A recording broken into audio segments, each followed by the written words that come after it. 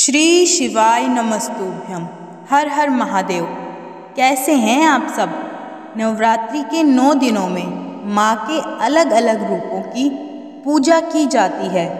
आज 17 अक्टूबर, मंगलवार को नवरात्रि का तीसरा दिन है और तीसरे दिन माँ चंद्र घंटा की पूजा अर्चना की जाती है। धार्मिक मान्यताओं के अनुसार माता के मस्तिष्क में घंटे के आकार का अर्धचंद्र है, इसलिए इनका नाम चंद्र घंटा है। इनके चंड भयंकर घंटे की ध्वनि से सभी दुष्ट दैत्य दानव और राक्षसों के शरीर का नाश होता है। देवी माँ की कृपा से व्यक्ति के समस्त पाप और बाधाएँ समाप्त हो जाती है। और देवी की कृपा से ही व्यक्ति पराक्रमी और निर्भय बन जाता है।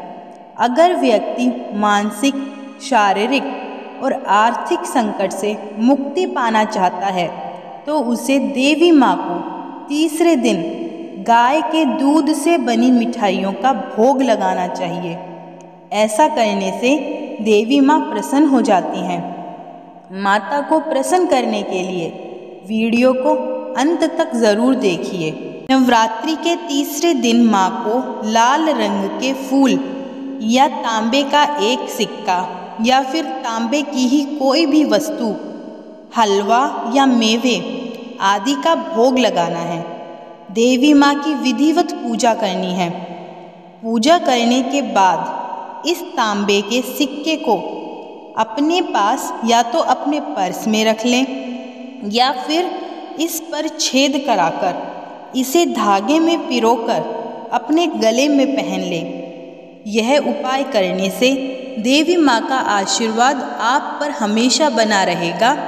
व आपका भंडार हमेशा धन धान्य से भरा रहेगा। दूसरे उपाय में, नवरात्रि के नौ दिनों तक लगातार आपको माता रानी के सामने आसन बिछाकर बैठना है।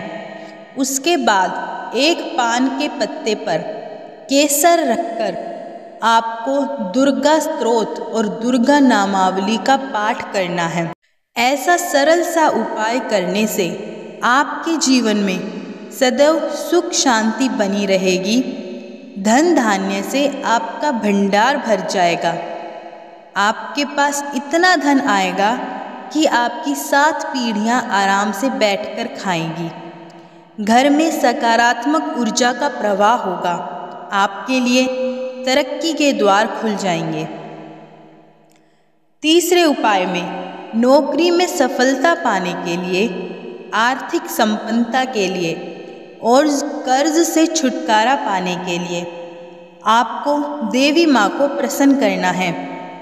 देवी माँ को प्रसन्न करने के लिए उनके सामने आसन बिछाकर बैठना है।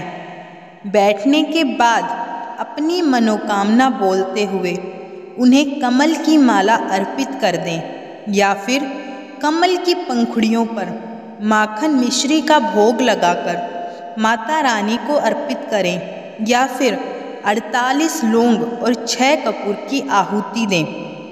यह सरल सा उपाय करने से आपकी जो भी मनोकामना है, वह अवश्य ही पूरी होगी। चौथा उपाय है तीसरे दिन किया जाने वाला एक और सरल सा उपाय है। इसके लिए आपको केले के पेड़ की पूजा करनी है। पूजा करने के लिए सबसे पहले केले के पेड़ के सामने आसन बिठाकर बैठ जाएँ। बैठने के बाद केले के पेड़ की जड़ में रोली, चावल, फूल और जल अर्पित करें। और यह पूजा रोज़ाना करें। और नौमी के दिन केले के पेड़ की थोड़ी सी मिट्टी लेकर अपनी तिजोरी में रख लें। यह उपाय करने से आपके जीवन में सदैव आर्थिक संपन्नता बनी रहेगी। ऐसे ही महत्वपूर्ण और लाभदायक उपाय और जानकारी के लिए हमारे चैनल से जुड़े रहें। चैनल को सब्सक्राइब करें और कमेंट में जय माता दी ज़रूर लिखें।